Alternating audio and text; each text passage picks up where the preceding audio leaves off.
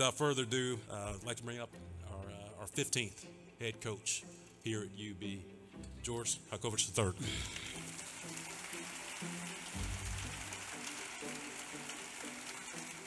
Just one quick thing. Go Bulls. Let's go, everybody. Let's go.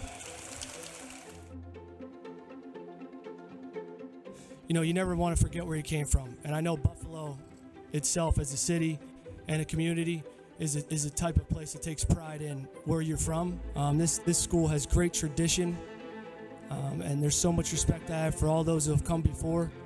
You know, I want to I want to represent all of you um, and this great university in that light.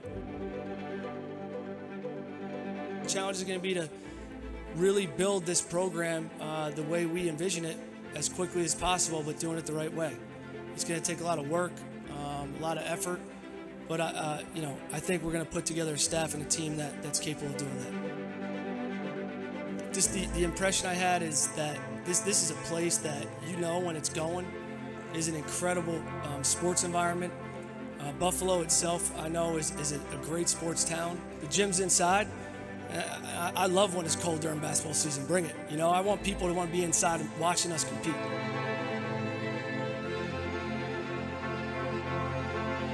You know, we just want to come here right now and, and really, from day one, make you all proud that we want to be a part of a, a special place and something bigger than ourselves. So, thank you very much. Go Bulls!